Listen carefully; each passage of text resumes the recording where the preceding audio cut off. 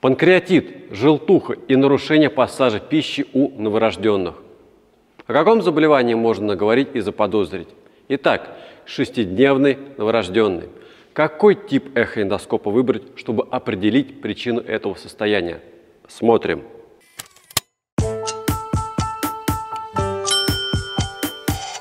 Добрый день, уважаемые коллеги! Приветствую вас на плейлисте эндоскописта. И сегодня мы добавим новый случай, который будет называться «Удвоение двенадцатиперстной кишки у новорожденного».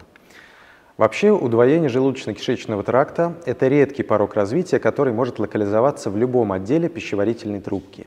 Частота встречаемости составляет 1 на 4,5 тысячи новорожденных детей – 1937 году Уильям Летт впервые предложил термин «удвоение» и определил критерии постановки диагноза. Во-первых, это тесная анатомическая связь с частью желудочно-кишечного тракта, это наличие слизистой оболочки и хорошо развитый слой гладких мышц.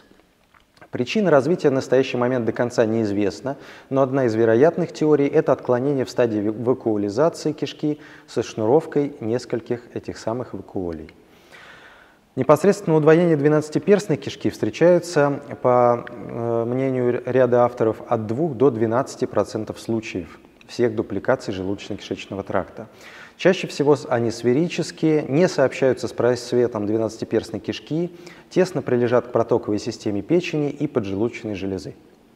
По расположению подразделяются на интралюминарные, то есть когда удвоение и просвет разделяют слизистые оболочки и тонкий слой соединительной ткани, и экстралюминарные, когда между ними находятся два слоя гладкой мускулатуры.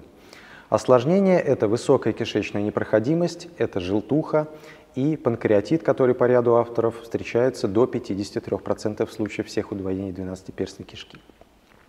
Какие же методы диагностики? Во-первых, это, конечно, трансабдоминальное ультразвуковое исследование, в том числе на этапе перинатальной диагностики. Это может быть компьютерная томография, магнитно-резонансная томография, а также эндоскопия, когда мы можем визуализировать сдавление просвета 12-перстной кишки и в том числе отсутствие большого дуоденального сосочка в тех случаях, если он располагается непосредственно в дупликации. А также еще один метод диагностики – это сцинтиграфия с использованием технеция в тех случаях, если мы подозреваем гетеротопию слизистой желудка в область дупликации. Лечение испокон веков считается исключительно хирургическим, однако по данным литературы, и вот в частности приведенной здесь статье, наши коллеги использовали эндосонографический зонд для определения анатомии удвоения двенадцатиперстной кишки. И если общая стенка, разделяющая двенадцатиперстную кишку, включала в себя систему желчевыводящих путей или протоков поджелудочной железы, то было рекомендовано хирургическое лечение.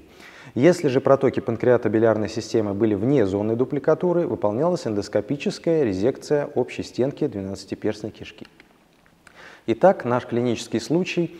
Внутриутробно у ребенка была диагностирована энтерокиста. Сразу после рождения он был госпитализирован в детскую филатскую больницу города Москвы. И по данным обследования, вот здесь на компьютерной томографии вы видите дивертикулоподобные выпячивания в области нисходящего отдела 12-перстной кишки. Этому ребенку было решено выполнить эндосонографию. И вот в возрасте 6 дней жизни мы выполнили это исследование с помощью ультразвукового бронхоскопа в просвете желудочно-кишечного тракта. И в области нисходящего отдела 12-перстной кишки определяется э, кистозное образование с типичной для э, желудочно-кишечного тракта пятислойной эхостенкой. Однако при детальной оценке э, мы видим единый гипоэхогенный слой, а именно это мышечная оболочка, переходящая с просвета 12-перстной кишки на данное кистозное образование. При этом перегородка между ними э, не связана с э, этой мышечной оболочкой, в связи с чем было предположено интралюминарное удвоение 12-перстной кишки.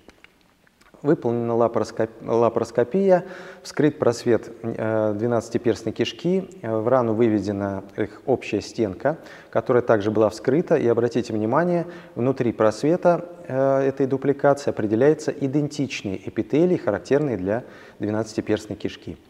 Максимально общая стенка была иссечена, создан единый просвет 12-перстной кишки, и этот ребенок в один месяц пришел к нам на контроль, никакой деформации просвета не определяется, визуализируется большой дуоденальный сосочек, и, что самое главное в этой ситуации, большое количество желчи в просвете 12-перстной кишки. Итак, что же мы увидели на эндосонографии? Пятислойная стенка. А, обратите внимание на гистологический препарат. А, два гиперэхогенных слоя снаружи – это контакт а, слизистой оболочки с ультразвуковой волной. Далее идут два гипоэхогенных тонких слоя – это глубокие слои слизистой оболочки, включая мышечную пластинку. И далее в середине идет тонкий слой гиперэхогенный подслизистая оболочка на гистологическом препарате отмечаются единичные недоразвитые мышечные волокна. А в заключение, удвоение двенадцатиперстной кишки – это редкий порог развития, который нужно уметь диагностировать на ранних сроках развития ребенка. Эндоскопическая ультрасонография может быть выполнена и у новорожденных детей. Данный метод высоко информативен в дифференцировке сложных пороков развития желудочно-кишечного тракта и панкреатобилярной системы. Спасибо большое за внимание.